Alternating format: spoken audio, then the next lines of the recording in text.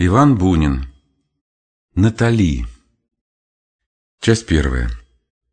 В то лето я впервые надел студенческий картуз и был счастлив тем особым счастьем начала молодой свободной жизни, что бывает только в эту пору.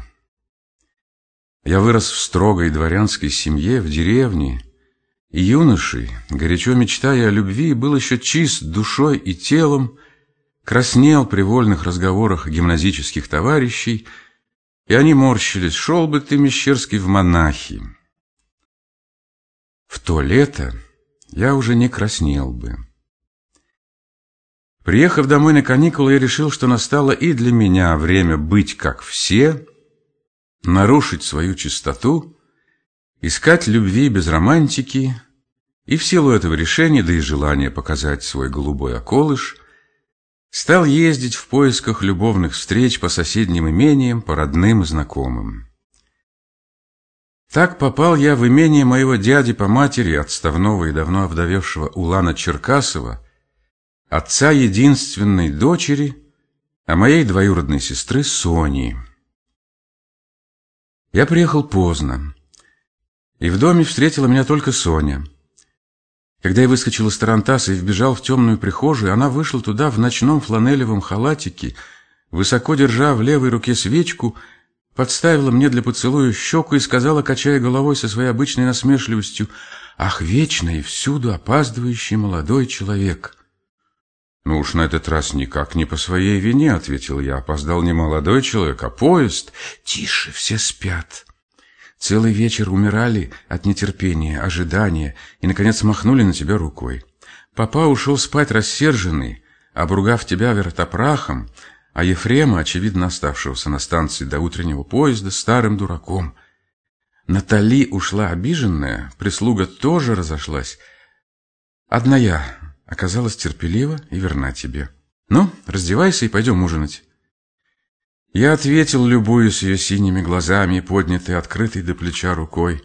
«Спасибо, милый друг. Убедиться в твоей верности мне теперь особенно приятно. Ты стала совершенной красавицей. И я имею на тебя самые серьезные виды. Какая рука, шея, и как соблазнителен этот мягкий халатик, под которым, верно, ничего нет».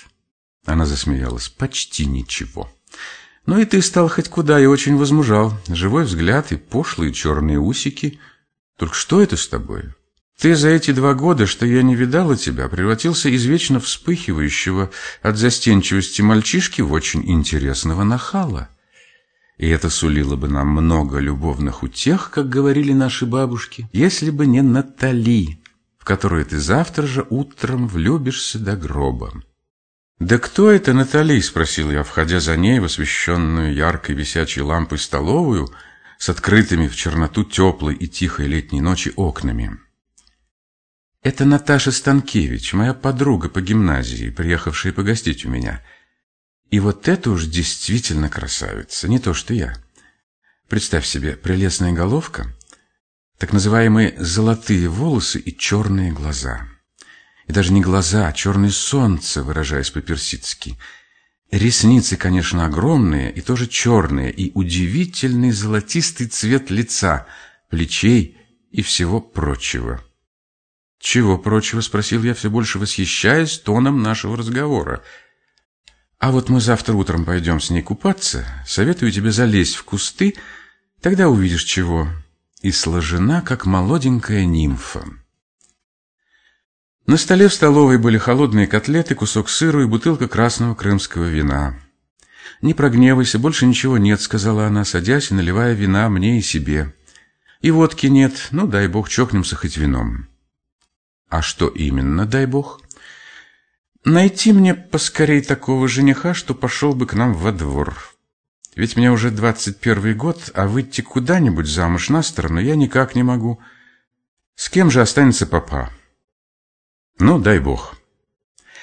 И мы чокнулись. Немедленно выпив весь бокал, она опять со странной усмешкой стала глядеть на меня, на то, как я работаю вилкой, стала как бы про себя говорить, «Да ты ничего себе, похож на грузина и довольно красив. Прежде был уж очень тощий, зелен лицом. В общем, очень изменился, стал легкий, приятный. Только вот глаза бегают. Это потому, что ты меня смущаешь своими прелестями. Ты ведь тоже не совсем такая была прежде.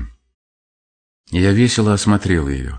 Она сидела с другой стороны стола, вся взобравшись на стул, поджав под себя ногу, положив полное колено на колено, немного боком ко мне.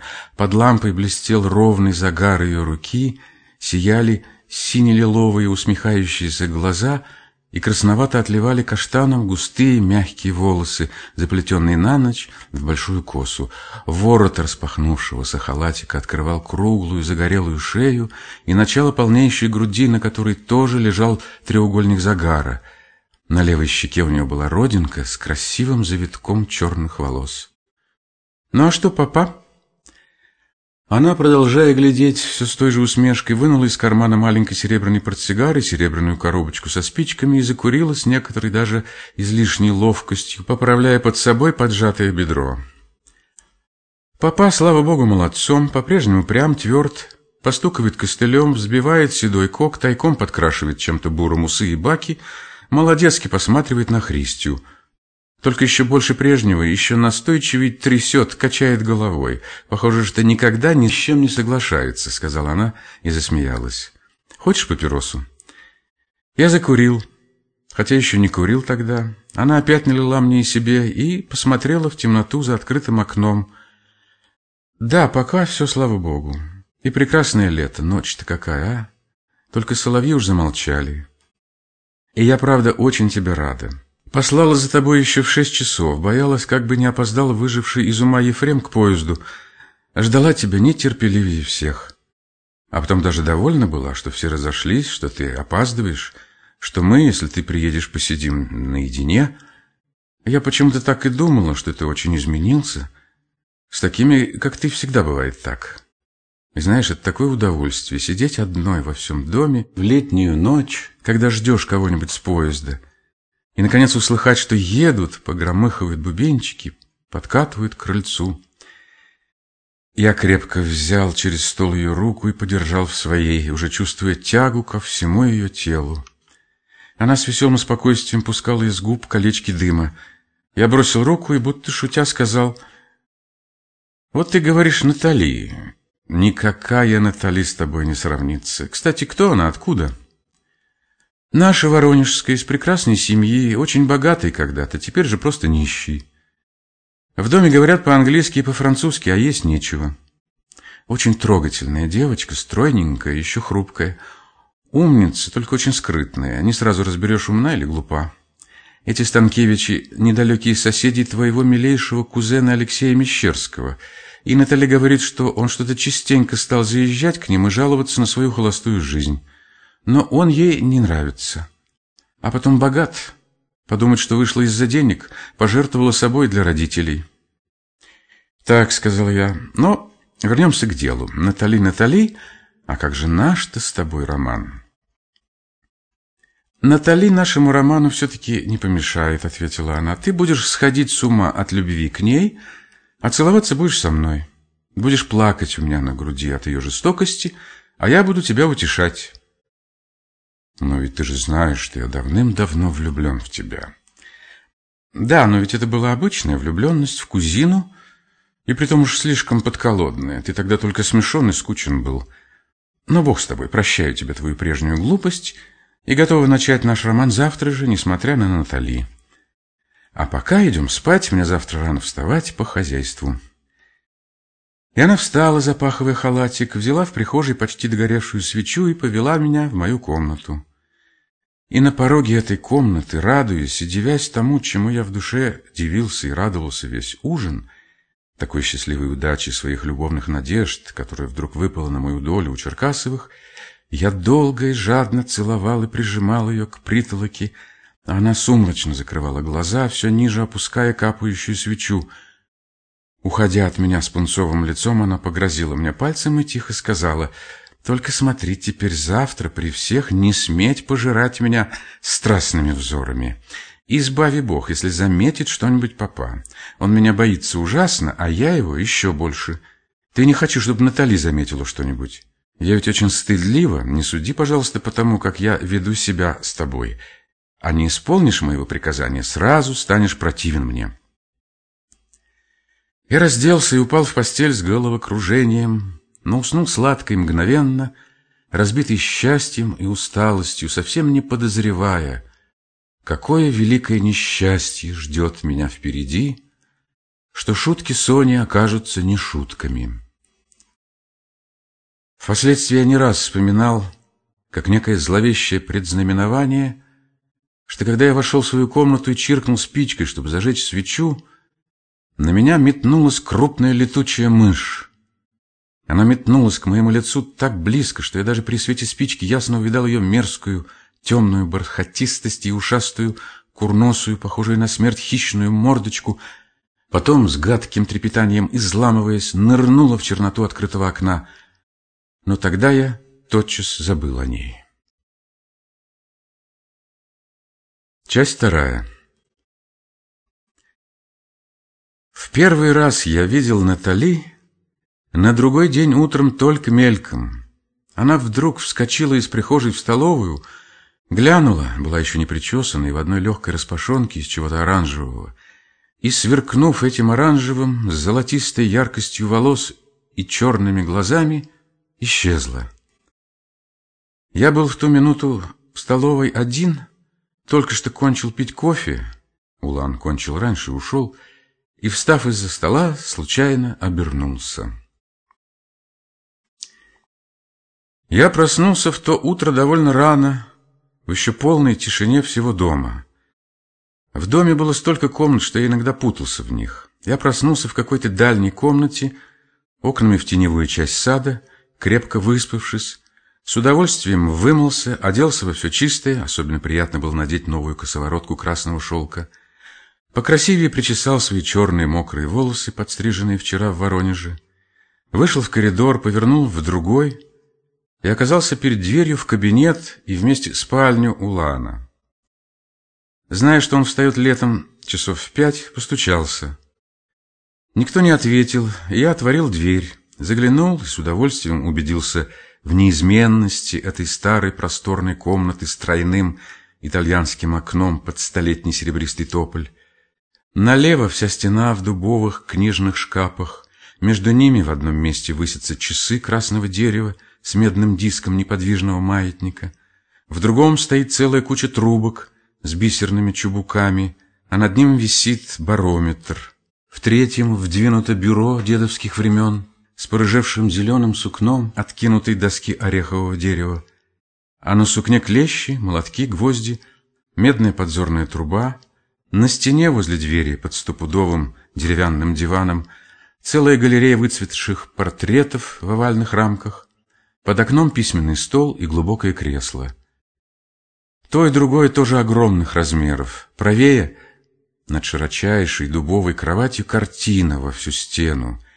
Почерневший лаковый фон, на нем еле видны клубы смурно-дымчатых облаков и зеленовато-голубых поэтических деревьев — а на переднем плане блещет точно окаменевшим яичным белком голая дородная красавица, чуть не в натуральную величину, стоящая в полуоборот к зрителю гордым лицом и всеми выпуклостями полновесной спины, крутого зада и тыла могучих ног, соблазнительно прикрывая удлиненными расставленными пальцами одной руки сосок груди, а другой низ живота в жирных складках.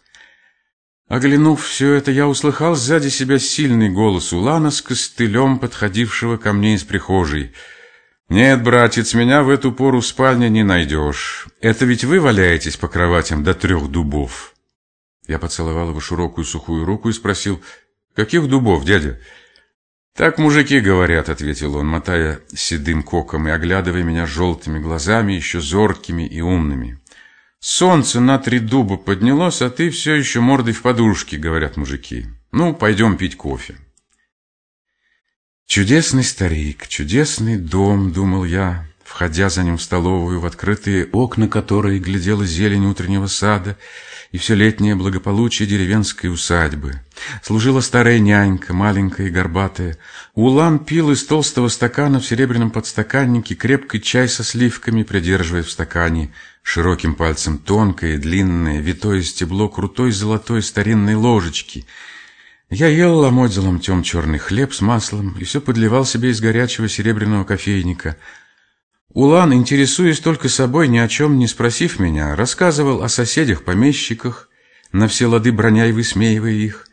Я притворялся, что слушаю, глядел на его усы, баки, на крупные волосы на конце носа, а сам так ждал Натали и Соню, что не сиделось на месте. Что это за Натали? И как мы встретимся с Соней после вчерашнего? Чувствовал к ней восторг, благодарность, порочно думал о спальнях ее и Натали, обо всем том, что делается в утреннем беспорядке женской спальни. Может, Соня все-таки сказала Натали что-нибудь о нашей начавшейся вчера любви? Если так, то я чувствую нечто вроде любви и к Натали, и не потому, что она будто бы красавица, а потому что она уже стала нашей с Соней тайной соучастницей. Отчего же нельзя любить двух? Вот они сейчас войдут во всей своей утренней свежести, увидят меня, мою грузинскую красоту и красную косоворотку, заговорят, засмеются, сядут за стол, красиво наливая из этого горячего кофейника. Молодой утренний аппетит, молодое утреннее возбуждение, блеск выспавшихся глаз, легкий налет пудры — на как будто еще помолодевших после сна щеках, и этот смех за каждым словом не совсем естественный, тем более очаровательный. А перед завтраком они пойдут по саду к реке, будут раздеваться в купальне, освещаемые по голому телу сверху синевой неба, а снизу отблеском прозрачной воды — Воображение всегда было живо у меня. Я мысленно видел, как Соня и Натали станут, держась за перила лесенки в купальне, неловко сходить по ее ступенькам, погруженным в воду, мокрым, холодным и скользким от противного зеленого бархата слизи, наросшей на них. Как Соня, откинув назад свою густоволосую голову, решительно упадет вдруг на воду поднятыми грудями, и вся странно видная в воде, голубовато-меловым телом косо разведет в разные стороны углы рук и ног, совсем как лягушка. «Ну, до обеда. Ты ведь помнишь, обед в двенадцать», — отрицательно качая головой, сказал Улан и встал со своим выбритым подбородком в бурых усах, соединенных с такими же баками, высокий, старчески твердый, в просторном чесучевом костюме и тупоносых башмаках с костылем в широкой руке — покрытый гречкой, потрепал меня по плечу и скорым шагом ушел. И вот тут-то, когда я тоже встал, чтобы выйти через соседнюю комнату на балкон, она и вскочила, мелькнула и скрылась, сразу поразив меня радостным восхищением. Я вышел на балкон изумленный, в самом деле красавица и долго стоял так, как бы собираясь с мыслями.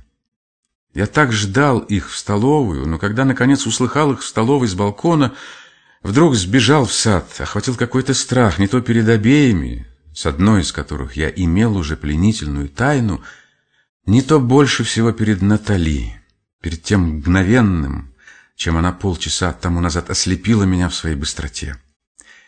Я походил по саду, лежавшему, как и вся усадьба в речной низменности, наконец преодолел себя, вошел с напускной простотой и встретил веселую смелость Сони и милую шутку Натали, которая с улыбкой вскинула на меня из черных ресниц сияющую черноту своих глаз, особенно поразительную при цвете ее волос. Мы уже виделись. Потом мы стояли на балконе, облокотясь на каменную балюстраду, с летним удовольствием чувствуя, как горячо печет нам раскрытые головы. И Натали стояла возле меня, а Соня, обняв ее и будто рассеянно глядя куда-то с усмешкой напевала «Средь шумного бала, случайно». Потом выпрямилась «Ну, купаться. В первую очередь мы, потом пойдешь ты».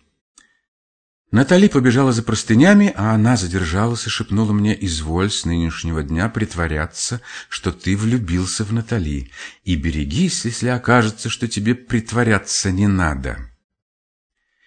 И я чуть не ответил с веселой дерзостью, что да, уже не надо.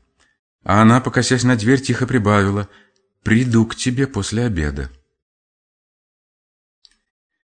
Когда они вернулись, пошел в купальню я. Сперва по длинной березовой аллее, потом среди разных старых деревьев прибрежье, где тепло пахло речной водой, и орали на древесных верхушках грачи, шел и опять думал с двумя совершенно противоположными чувствами о Натали и о Соне, о том, что я буду купаться в той же воде, в которой только что купались они. После обеда среди всего того счастливого, бесцельного, привольного и спокойного, что глядело из сада в открытые окна, небо, зелень, солнце, после долгого обеда с окрошкой, жареными цыплятами и малиной со сливками, за которым я втайне замирал от присутствия Натали и от ожидания того часа, когда затихнет весь дом на послеобеденное время, и Соня, вышедшая к обеду с темно-красной бархатистой розой в волосах, тайком прибежит ко мне, чтобы продолжить вчерашнее уже не наспех и не как-нибудь, я тотчас ушел в свою комнату и притворил сквозные ставни, стал ждать ее, лежа на турецком диване, слушая жаркую тишину усадьбы и уже томное послеполуденное пение птиц в саду, из которого шел в ставне сладкий от цветов и трав воздух, и безвыходно думал, как же мне теперь жить в этой двойственности,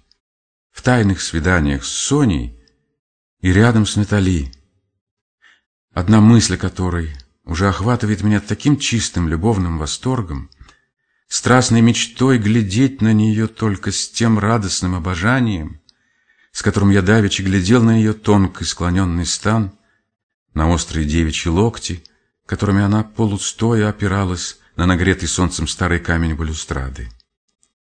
Соня, облокотясь рядом с ней и обняв ее за плечо, была в своем батистовом пеньюаре с оборками похожа на только что вышедшую замуж молодую женщину, а она, холстинковые юбочки и вышитые малороссийской сорочки, под которыми угадывалось все юное совершенство ее сложения, казалась чуть не подростком.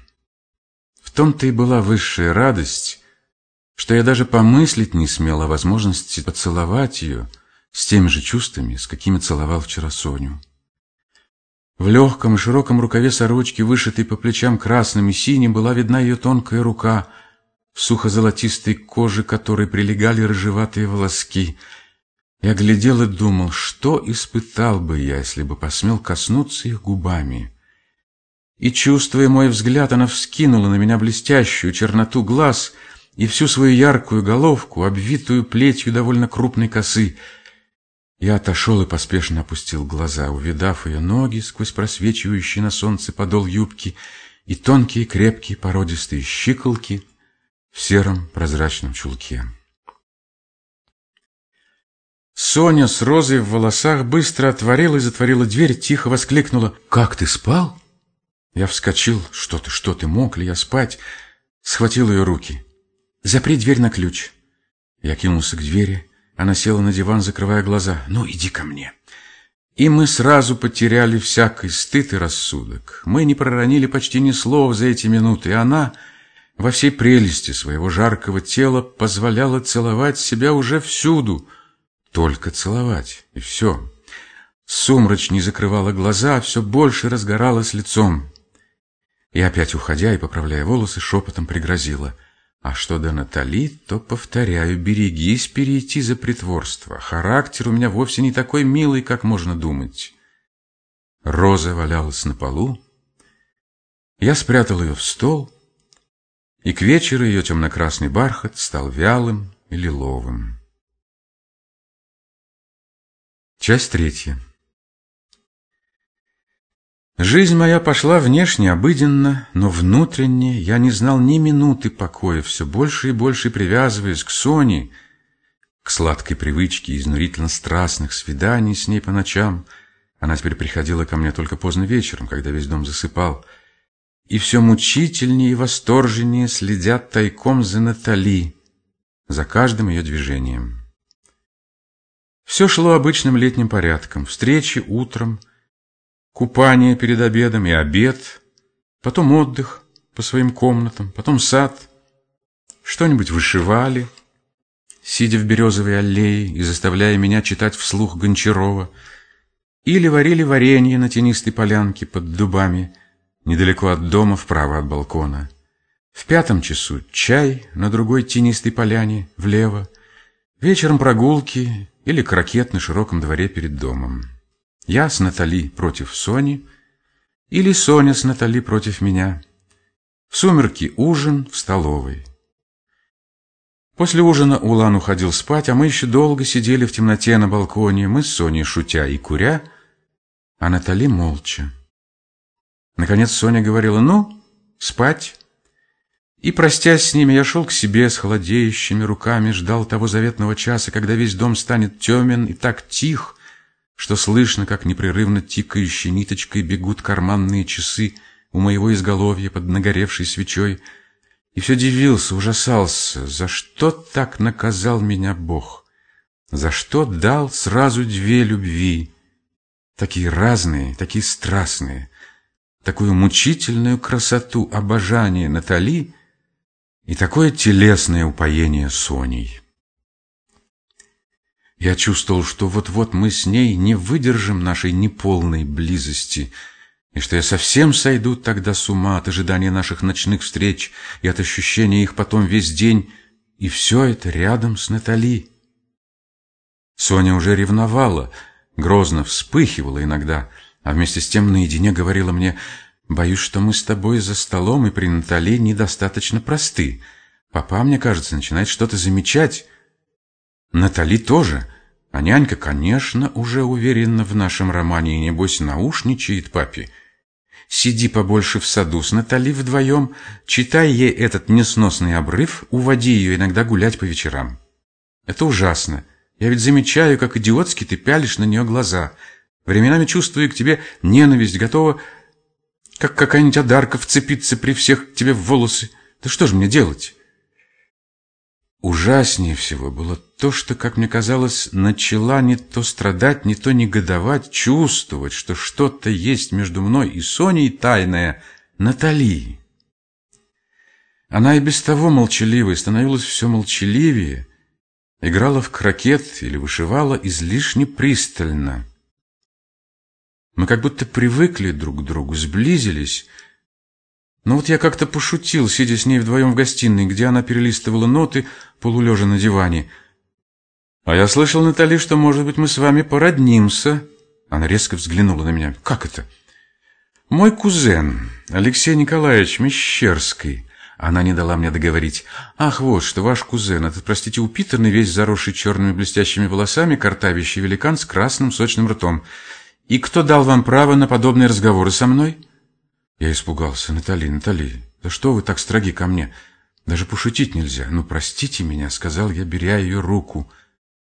Она не отняла руки и сказала, «Я до сих пор не понимаю.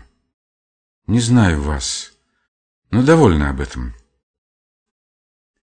Чтобы не видеть ее томительно влекущих к себе теннисных белых башмачков, в кость подобранных на диване, я встал и вышел на балкон. Заходила из засада туча, тускнел воздух, все шире и ближе шел по саду мягкий летний шум, сладко дуло полевым дождевым ветром, и меня вдруг так сладко, молодо и вольно охватило какое-то беспричинное, на все согласное счастье, что я выкрикнул «Натали, на минутку!» Она подошла к порогу. «Что?» «Вздохните, какой ветер! Какой радостью могло бы быть все!» Она помолчала. «Да». «Натали, как вы не ласковы со мной! Вы что-то имеете против меня?» Она гордо пожала плечом. «Что и почему я могу иметь против вас?» Вечером, лежа в темноте в плетеных креслах на балконе, мы все трое молчали. Звезды только кое-где мелькали в темных облаках, слабо тянуло со стороны реки вялым ветром, так дремотно журчали лягушки. «К дождю спать хочется», — сказала Соня, подавляя зевок. Нянька сказала, народился молодой месяц, теперь с неделю будет обмываться. И, помолчав, добавила, «Натали, что вы думаете о первой любви?» Натали откликнулась из темноты. «Я в одном убеждена, в страшном различии первой любви юноши и девушки». Соня подумала, «Ну, разные девушки бывают» и решительно встала. «Нет, спать, спать!» «А я еще подремлю тут, мне ночь нравится», — сказала Натали. Я прошептал, слушая удаляющиеся шаги Сони. «Что-то нехорошо говорили мы нынче с вами». Она ответила, «Да-да, мы нехорошо говорили». На другой день мы встретились как будто спокойно. Ночью шел тихий дождь, но утром погода разгулялась, после обеда стало сухо и жарко — Перед чаем в пятом часу, когда Соня делала какие-то хозяйственные подсчеты в кабинете Улана, мы сидели в березовой аллее и пытались продолжать чтение вслух обрыва. Она, наклонясь, что-то шила, мелькая правой рукой. Я читал и от времени до времени с сладкой тоской взглядывал на ее левую руку, видную в рукаве, на рыжеватые волоски, прилегавшие к ней выше кисти, и на такие же там, где шея сзади переходила в плечо, и читал все оживленнее, не понимая ни слова. Наконец сказал, «Ну, теперь почитайте вы». Она разогнулась, под тонкой блузкой обозначились точки ее грудей, отложила шитье и опять, наклонясь, низко опустив свою странную, чудесную голову и показывая мне затылок и начало плеча, положила книгу на колени, стала читать скорым и неверным голосом. Я глядел на ее руки, на колени под книгой, изнемогая от неистовой любви к ним и звуку ее голоса. В разных местах предвечернего сада вскрикивали на лету иволги. Против нас высоко висел, прижавшись к стволу сосны, одиноко росший валей среди берез, красновато-серый дятел. «Натали, какой удивительный цвет волос у вас! А коса немного темнее цвета спелой кукурузы». Она продолжала читать. «Натали, дятел, посмотрите!» Она взглянула вверх. «Да-да, я его уже видела, и нынче видела, и вчера видела. Не мешайте читать». Я помолчал, потом снова. «Посмотрите, как это похоже на засохших серых червячков». «Что? Где?» Я указал на скамью между нами на засохший птичий известковый помет. «Правда?» И взял и сжал ее руку, бормоча и смеясь от счастья. «Натали! Натали!» Она тихо и долго поглядела на меня, потом выговорила. «Но вы же любите Соню». Я покраснел, как пойманный мошенник, но с такой горячей поспешностью отрекся от Сони, что она даже слегка раскрыла губы. «Это неправда!» «Неправда, неправда. Я ее очень люблю, но как сестру. Ведь мы знаем друг друга с детства». Часть четвертая. На другой день она не вышла ни утром, ни к обеду. «Соня, что с Натали?» – спросил Улан. И Соня ответила, нехорошо засмеявшись. «Лежит все утро в распашонке, нечесанная, по лицу видно, что ревела. Принесли ей кофе, не допила. Что такое? Голова болит. Уж не влюбилась ли?» «Очень просто», — сказал Улан бодро, с одобрительным намеком глянув на меня, но отрицая головой. Вышла Натали только к вечернему чаю, но вошла на балкон легко и живо, улыбнулась мне приветливо и как будто чуть виновата, удивив меня этой живостью, улыбкой и некоторой новой нарядностью. Волосы убраны туго, спереди немного подвиты, волнисто тронуты щипцами, платье другое, из чего-то зеленого — Цельное, очень простое и очень ловкое, особенно в перехвате на талии. Туфельки черные на высоких каблучках. Я внутренне ахнул от нового восторга. Я, сидя на балконе, просматривал исторический вестник, несколько книг которого дал мне Улан, когда она вдруг вошла с этой живостью и несколько смущенной приветливостью.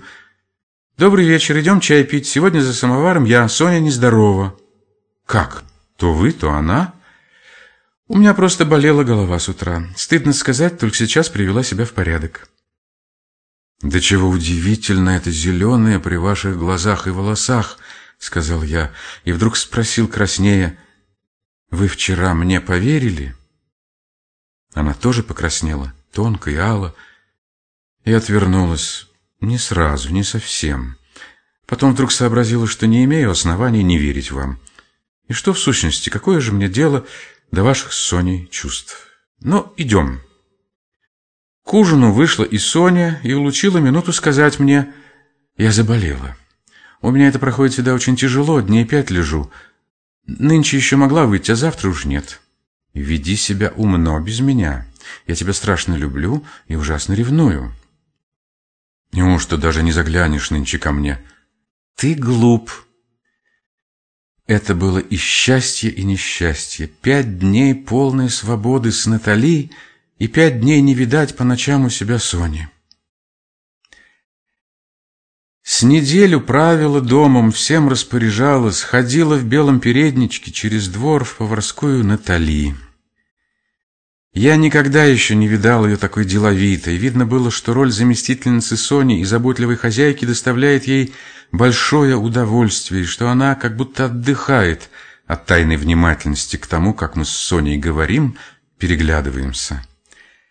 Все эти дни, пережив за обедом сперва тревогу, все ли хорошо, а потом довольство, что все хорошо, и старик-повар, и Христия, хохлушка горничная, приносили и подавали вовремя, не раздражая Улана, она после обеда уходила к Соне, куда меня не пускали, и оставалась у ней до вечернего чая, а после ужина весь вечер.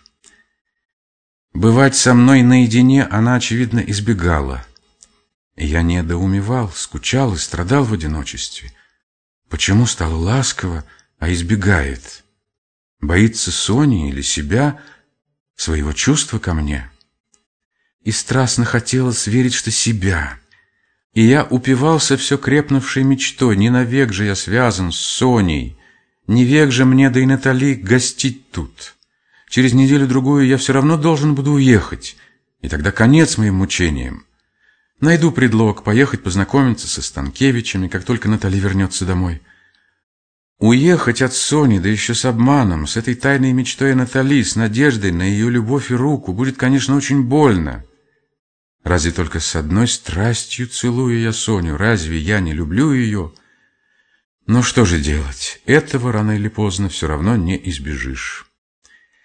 И непрестанно думая так, в непрестанном душевном волнении, в ожидании чего-то, я старался вести себя при встречах с Натали как можно сдержаннее, милее, терпеть, терпеть до поры до времени.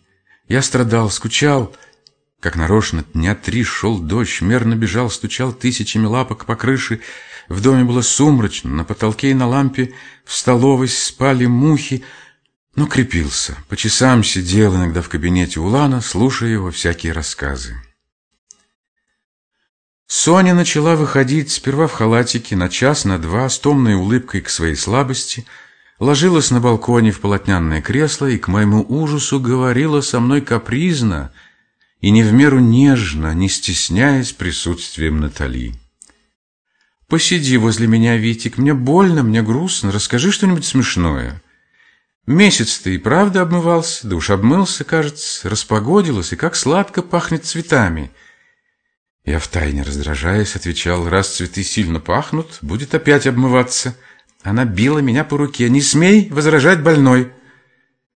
Наконец стала выходить и к обеду, и к вечернему чаю, только еще бледная, и приказывая подавать себе кресло — но к ужину и на балкон после ужина еще не выходила. И раз Натали сказала мне после вечернего чая, когда она ушла к себе, и Христия понесла со стола самовар в поварскую, «Соня сердится, что я все сижу возле нее, что вы все один и один. Она еще не совсем поправилась, а вы без нее скучаете». «Я скучаю только без вас», — ответил я, — «когда вас нет». Она изменилась в лице, но справилась, с усилием улыбнулась. Но мы же условились не ссориться больше. Послушайте лучше вот что. Вы засиделись дома, пойдите погуляйте до ужина. А потом я посижу с вами в саду. Предсказания насчет месяца, слава богу, не сбылись. Ночь будет прекрасная.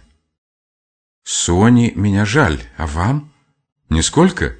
«Страшно жаль», — ответила она и неловко засмеялась, ставя на поднос чайную посуду. «Но, слава богу, Соня уже здорова, скоро не будете скучать».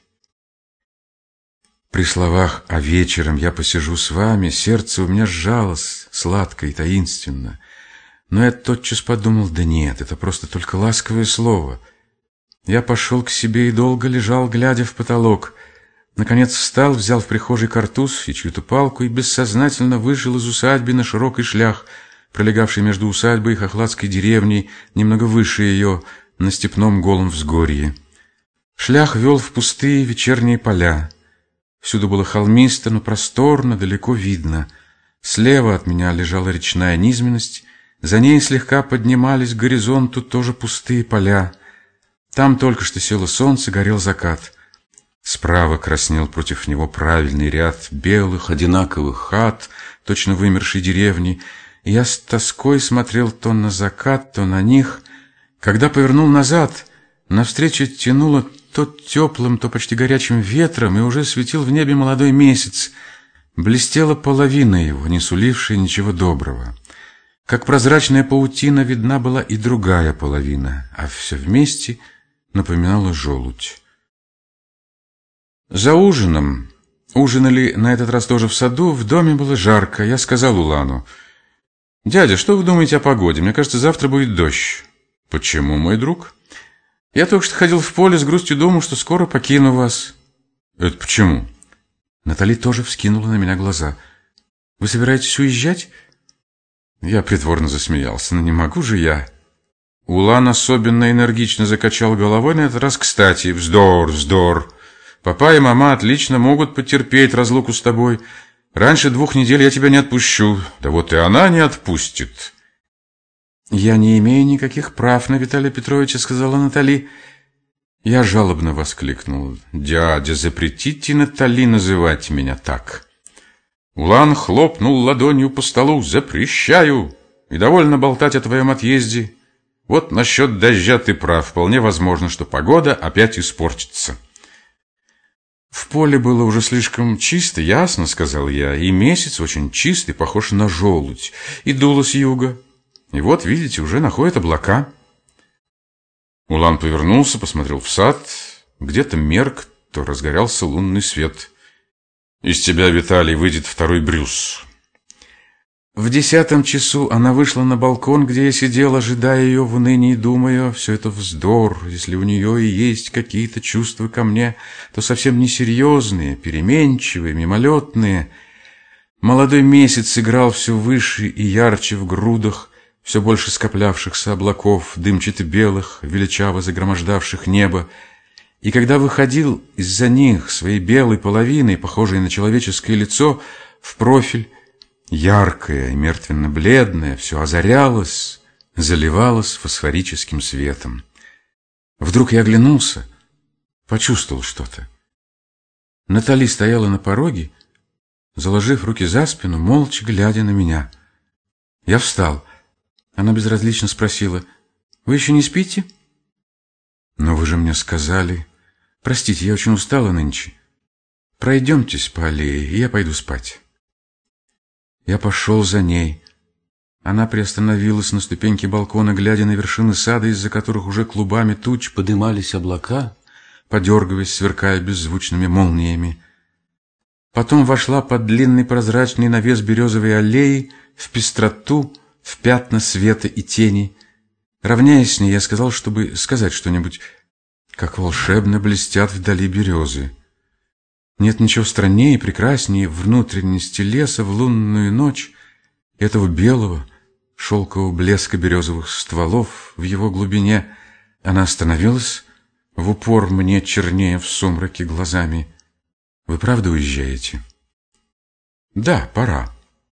Но почему так сразу и скоро?» Я не скрываюсь. Вы меня давеча поразили, сказав, что уезжаете.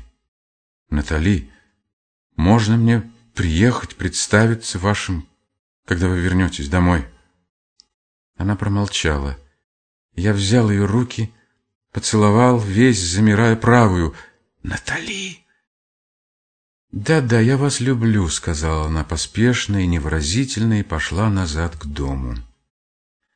Я лунатически пошел за ней. «Уезжайте завтра же», — сказала она на ходу, не оборачиваясь. «Я вернусь домой через несколько дней». Часть пятая. Войдя к себе, я, не зажигая свечи, сел на диван и застыл, оцепенел в том страшном и дивном, что так внезапно и нежданно совершилось в моей жизни. Я сидел, потеряв всякое представление о месте и времени. Комнаты и сад уже потонули в темноте от туч, в саду за открытыми окнами все шумело, трепетало, и меня все чаще и ярче озаряло быстрым и в ту же секунду исчезающим зелено-голубым пламенем. Быстрота и сила этого безгромного света все увеличивалась, потом комната озарилась вдруг до неправдоподобной видимости. На меня понесло свежим ветром, и таким шумом сада точно его охватил ужас — вот оно, загорается земля и небо. Я вскочил с трудом, затворил одно за другим окна, ловя их рамы, преодолевая трепавший меня ветер, и на цыпочках побежал по темным коридорам в столовую. Мне, казалось бы, было в тот час не до раскрытых окон в столовой и гостиной, где буря могла перебить стекла, но я все-таки побежал, и даже с большой озабоченностью. Все окна в столовой и гостиной оказались закрыты, я увидал это при том зелено-голубом озарении, в цвете, яркости которого было поистине что-то неземное, сразу раскрывавшееся всюду, точно быстрые глаза, и делавшее огромными и видимыми до последнего переплета все оконные рамы, а затем тотчас же затоплявшиеся густым мраком, на секунду оставлявшие в ослепшем зрении след чего-то жестяного красного. Когда же я быстро, точно боясь, не случилось ли чего там, без меня вошел в свою комнату, из темноты послышался сердитый шепот. «Где ты был? Мне страшно, зажги скорее огонь!» Я чиркнул спичкой, увидел сидевшую на диване Соню в одной ночной рубашке, в туфлях на босу ногу. «Нет-нет, не надо», — поспешно сказала она. «Иди скорее ко мне, обними меня, я боюсь». Я покорно сел и обнял ее за холодные плечи. Она зашептала, «Ну, поцелуй же меня, поцелуй, возьми совсем, я целую неделю не была с тобой». И с силой откинула меня и себя на подушке дивана. В ту же минуту на пороге растворенной двери метнулась Натали в своей распашонке со свечой в руке. Она сразу увидала нас, но все-таки бессознательно крикнула «Соня, где ты? Я страшно боюсь!» И тотчас исчезла. Соня кинулась вслед за ней. Часть шестая. Через год она вышла за Мещерского. Венчали ее в его благодатном, при пустой церкви, и мы, и прочие родные и знакомые с его и с ее стороны не получили приглашения на свадьбу. И обычных после свадьбы визитов молодые не делали, тотчас уехали в Крым. В январе следующего года, в Татьянин день, был бал воронежских студентов в благородном собрании в Воронеже. Я, уже московский студент, проводил святки дома, в деревне, и приехал в тот вечер в Воронеж. Поезд пришел весь белый, дымящийся снегом от вьюги. По дороге со станции в город, пока извозчичьи сани несли меня в дворянскую гостиницу, едва видны были мелькавшие сквозь вьюгу огни фонарей. Но после деревни эта городская вьюга и городские огни возбуждали, сулили близкое удовольствие войти в теплый, слишком даже теплый номер старой губернской гостиницы, спросить самовар — и начать переодеваться, готовиться к долгой бальной ночи и студенческому пьянству до рассвета. За то время, что прошло с той страшной ночи у Черкасовых, а потом с ее замужества, я постепенно оправился, во всяком случае привык к тому состоянию душевно больного человека, которым втайне был, и внешне жил, как все – когда я приехал, бал только что начался, но уже полны были все прибывающим народом парадная лестница и площадка на ней, а из главной залы с ее хор все покрывало, заглушала полковая музыка, звучно гремя печально торжествующими тактами вальса. Еще свежий с мороза в новеньком мундире — и от этого не в меру изысканно, с излишней вежливостью, пробираясь в толпе по красному ковру лестницы, я поднялся на площадку, вошел в особенно густую уже горячую толпу, стеснившуюся перед дверями залы, и зачем-то стал пробираться дальше так настойчиво, что меня приняли верно за распорядителя, имеющего в зале неотложное дело. Я, наконец, пробрался, остановился на пороге, слушая разливы и раскаты оркестра над самой моей головой, глядя на сверкающую зыбь люстр и над десятки пар, разнообразно мелькавших под ними в вальсе, и вдруг подался назад. Из этой кружившейся толпы внезапно выделилась для меня одна пара, быстрыми и ловкими глиссадами летевшая среди всех прочих все ближе ко мне — я отшатнулся, глядя, как он, несколько сутулый в вальсировании, велик, дороден, весь черен, блестящими черными волосами и фраком, и легок, той легкостью, которой удивляют в танцах некоторые грузные люди, и как высока она в бальной высокой прическе, в бальном белом платье и стройных золотых туфельках — кружившаяся, несколько откинувшись, опустив глаза, положив на его плечо руку в белой перчатке до локтя с таким изгибом, который делал руку похожей на шею лебедя. На мгновение черные ресницы ее взмахнулись прямо на меня. Чернота глаз сверкнула совсем близко, но тут он, со старательностью грузного человека, ловко скользнув на лакированных носках, круто повернул ее — Губы ее приоткрылись вздохом на повороте, серебристо мелькнул подол платья, и они, удаляясь, пошли глиссадами обратно. Я опять протиснулся в толпу на площадке, выбрался из толпы, постоял. В двери залы, наискось против меня, еще совсем пустой и прохладной, Видны были стоявшие в праздном ожидании за буфетом с шампанским две курсистки в малороссийских нарядах, хорошенькая блондинка и сухая темноликая красавица, казачка чуть не вдвое выше ее ростом. Я вошел, с поклоном протянул сто-рублевую бумажку. Они, столкнувшись головами и засмеявшись, вытащили под стойкой из ведра со льдом тяжелую бутылку и нерешительно переглянулись. Откупоренных бутылок еще не было — я зашел за стойку и через минуту молодецких хлопнул пробкой. Потом весело предложил им по бокалу «Гаудамус Игитур». Остальное допил бокал за бокалом один. Они смотрели на меня сперва с удивлением, потом с жалостью. «Ой, ну вы и так страшно бледный!» Я допил и тотчас уехал. В гостинице спросил номер бутылку кавказского коньяку и стал пить чайными чашками в надежде, что у меня разорвется сердце. И прошло еще полтора года. И однажды в конце мая, когда я опять приехал из Москвы домой, Нарочный со станции привез ее телеграмму из Благодатного. Сегодня утром Алексей Николаевич скоропостижно скончался от удара. Отец перекрестился и сказал, Царствие Небесное, какой ужас, прости меня, Боже, никогда не любил я его, но все-таки это ужасно, ведь ему еще и сорока не было, и ее ужасно жаль, вдова в такие годы с ребенком на руках. Никогда я ее не видал, он был так мил, что даже ни разу не привез ее ко мне, но, говорят, очаровательно, как же теперь быть, ни я, ни мама ехать при нашей старости за полтораста верст, конечно, не можем. Надо ехать тебе. Отказаться было нельзя. В силу чего я мог отказаться?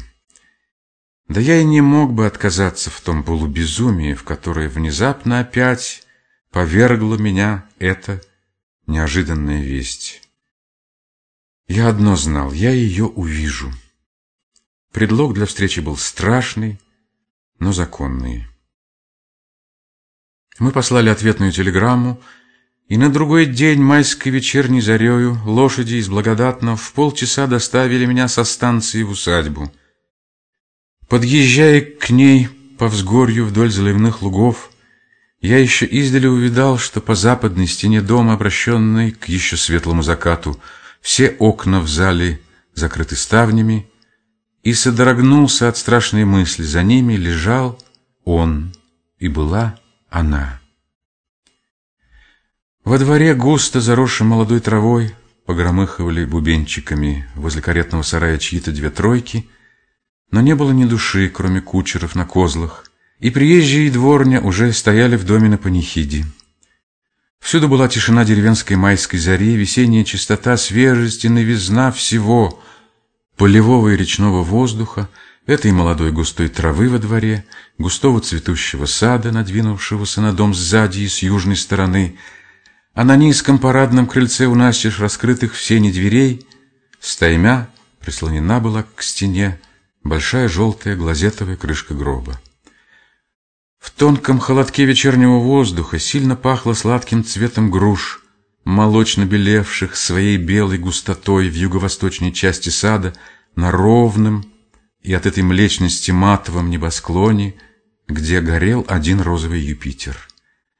И молодость, красота всего этого, и мысль о ее красоте и молодости — и о том, что она любила меня когда-то, вдруг так разорвали мне сердце скорбью, счастьем и потребностью любви, что, выскочив у крыльца из коляски, я почувствовал себя точно перед пропастью. Как вступить в этот дом, вновь увидать ее лицом к лицу, после трех лет разлуки и уже вдовой, матерью?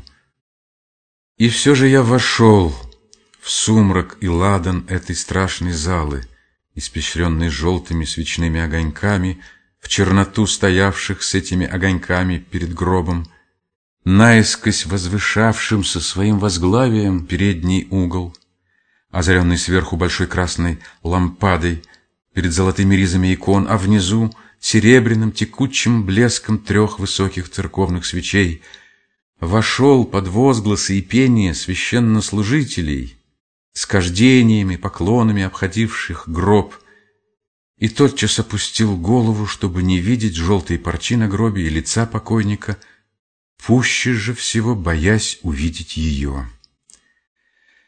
Кто-то подал мне зажженную свечу, я взял и стал держать ее, чувствуя, как она, дрожа, греет и освещает мне лицо, стянутое бледностью и с тупой покорностью, слушая эти возгласы, и брецание кадила, из-под лобья, видя плывущий к потолку торжественный, приторно пахнущий дым, и вдруг, подняв лицо, все-таки увидел ее.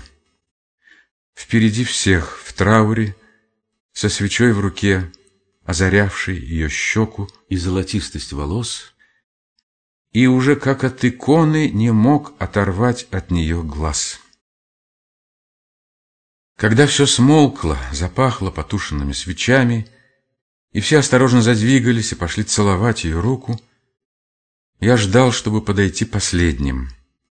И, подойдя, с ужасом восторга, взглянул на иноческую стройность ее черного платья, делавшего ее особенно непорочной, на чистую молодую красоту лица, ресниц и глаз, при виде меня опустившихся низко, низко поклонился, целуя ее руку, сказал едва слышным голосом все, что должен был сказать, следуя приличию и родству, и попросил разрешения тотчас же уйти и ночевать в саду, в той старинной ротонде, в которой я ночевал еще гимназистом, приезжая в Благодатное. Там была спальня Мещерского на жаркие летние ночи.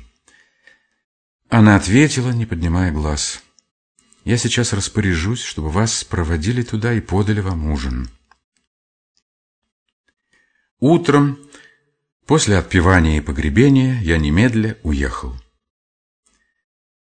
Прощаясь, мы опять обменялись только несколькими словами и опять не глядели друг другу в глаза. Часть седьмая. Я кончил курс, потерял вскоре после того почти одновременно отца и мать, поселился в деревне, хозяйствовал, сошелся с крестьянской сиротой Гашей, выросшей у нас в доме и служившей в комнатах моей матери.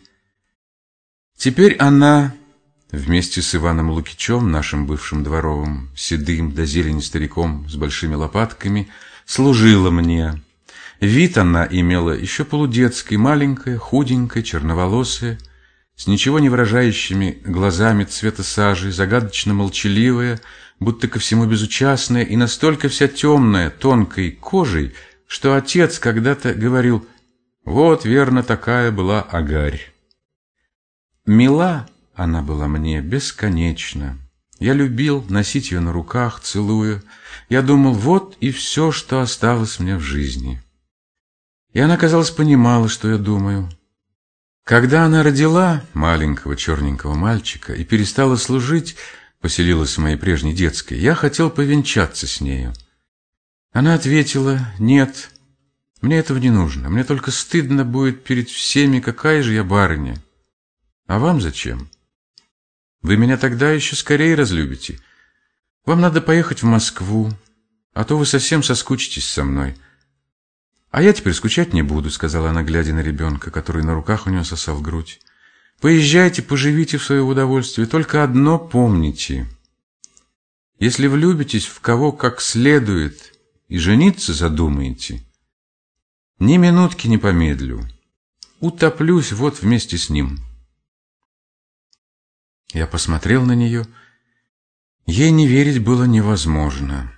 И поник головой. Да, а мне ведь всего двадцать шесть лет. Влюбиться, жениться... Этого я и представить себе не мог. Но слова Гаши еще раз напомнили мне о моей конченной жизни. Ранней весной я уехал за границу и провел там месяца четыре. Возвращаясь в конце июня через Москву домой, думал так, проживу осень в деревне, на зиму опять куда-нибудь уеду.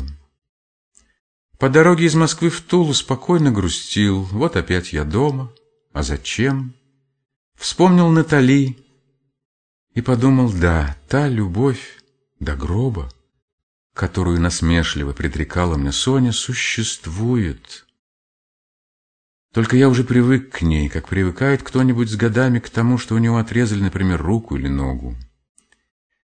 И, сидя на вокзале в Туле, в ожидании пересадки, вдруг послал телеграмму.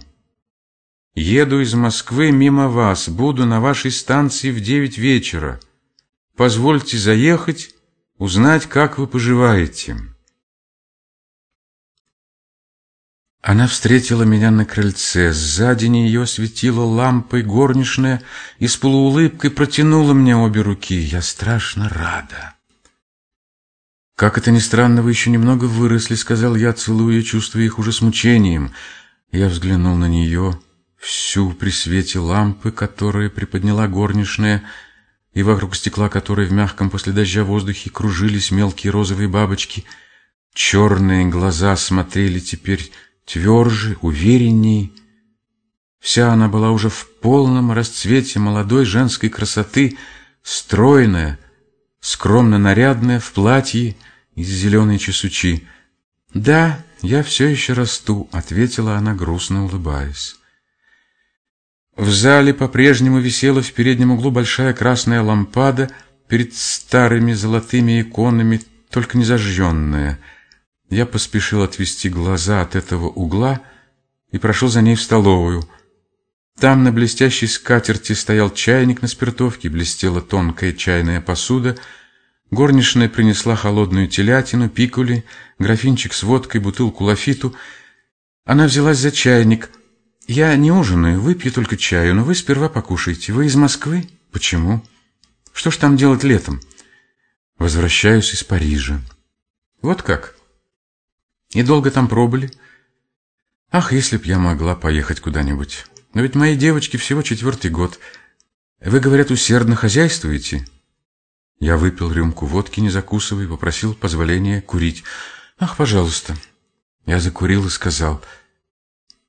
«Натали, не нужно вам быть со мной светски любезной. Не обращайте на меня особого внимания. Я заехал только взглянуть на вас и опять скрыться. И не чувствуйте неловкости, ведь все, что было, быльем поросло и прошло без возврата. Вы не можете не видеть, что я опять ослеплен вами, но теперь вас никак не может стеснять мое восхищение. Оно теперь бескорыстно и спокойно. Она склонила голову и ресницы, к дивной противоположности того и другого никогда нельзя было привыкнуть, и лицо ее стало медленно розоветь. «Это совершенно точно», — сказал я бледнее, но крепнущим голосом сам себя уверяя, что говорю правду. «Ведь все на свете проходит.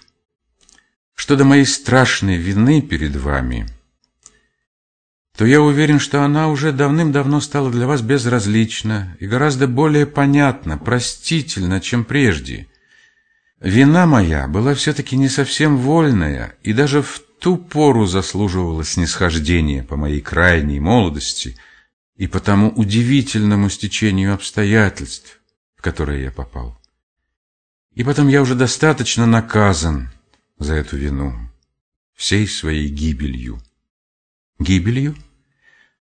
А разве не так? Вы и до сих пор не понимаете, не знаете меня, как сказали когда-то. Она помолчала. Я видела вас на балу в Воронеже. Как еще молода была я тогда и как удивительно несчастна. Хотя разве бывает несчастная любовь, сказала она, поднимая лицо и спрашивая всем черным раскрытием глаз и ресниц.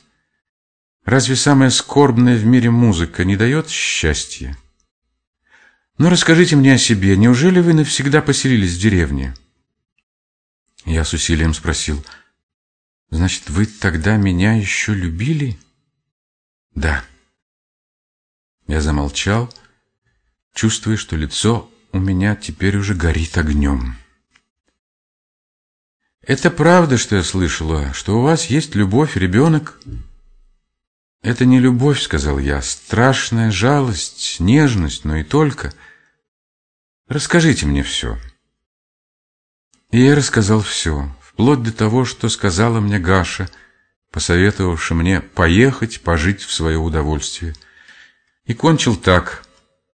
Теперь вы видите, что я всячески погиб. «Полноте», — сказала она, думая что-то свое. «У вас еще вся жизнь впереди, но брак для вас, конечно, невозможен. Она, конечно, из таких, что и ребенка не пожалеет, не то что себя». «Не в браке дело», — сказала я, — «Бог мой» мне жениться. Она в раздумье посмотрела на меня. Да, да. Как странно. Ваше предсказание сбылось. Мы породнились. Вы чувствуете, что ведь вы мне двоюродный брат теперь? И положила руку на руку мне. Но ужасно устали с дороги, даже не притронулись ни к чему. На вас лица нет, довольно разговоров на сегодня. Идите, постель для вас в павильоне приготовлена. Я покорно поцеловал ей руку, она позвала горничную, и та с лампой, хотя было довольно светло от месяца, низко стоявшего за садом, провела меня сперва главной, потом боковой аллеей на просторную поляну, в эту старинную ротонду с деревянными колоннами.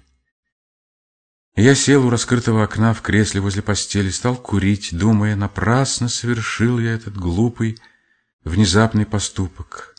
Напрасно заехал, понадеялся на свое спокойствие, на свои силы. Ночь была необыкновенно тиха, было уже поздно. Должно быть, прошел еще небольшой дождь, еще теплее, мягче стал воздух. И в прелестном соответствии с этим неподвижным теплом и тишиной протяжно и осторожно пели вдали в разных местах села первые петухи. Светлый круг месяца, стоявшего против ротонды за садом, как будто замер на одном месте — как будто выжидательно глядел, блестел среди дальних деревьев и ближних раскидистых яблонь, мешая свой свет с их тенями. Там, где свет проливался, было ярко, стеклянно, в тени же пестро и таинственно. И она в чем-то длинном, темном, шелковисто блестевшем, подошла к окну тоже так таинственно, неслышно. Потом месяц сиял уже над садом и смотрел прямо в ротонду, и мы поочередно говорили. Она лежа на постели, я стоя на коленях возле и держа ее руку. В ту страшную ночь с молниями я любил уже только тебя одну. Никакой другой страсти, кроме самой восторженной и чистой страсти к тебе во мне уже не было. Да, я со временем все поняла. И все-таки, когда вдруг вспоминала эти молнии, тотчас после воспоминания о том, что за час перед тем было в аллее, Нигде в мире нет тебе подобной. Когда я давеча смотрел на эту зеленую чесучу и на твои колени под ней я чувствовал, что готов умереть за одно прикосновение к ней губами, только к ней. Ты никогда, никогда не забывал меня все эти годы. Забывал только так, как забываешь, что живешь, дышишь.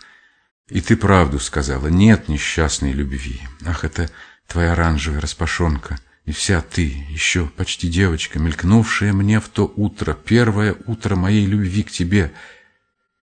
Потом твоя рука в рукаве малороссийской сорочки, потом наклон головы, когда ты читала обрыв, и я бормотал «Натали, Натали». Да, да.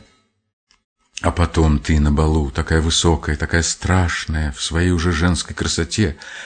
Как хотел я умереть в ту ночь в восторге своей любви и погибели. Потом ты со свечой в руке, твой траур и твоя непорочность в нем. Мне казалось, что святой стала та свеча у твоего лица. И вот ты опять со мной, и уже навсегда. Но даже видеться мы будем редко. Разве могу я, твоя тайная жена, стать твоей явной для всех любовницей? В декабре она умерла, на Женевском озере в преждевременных родах.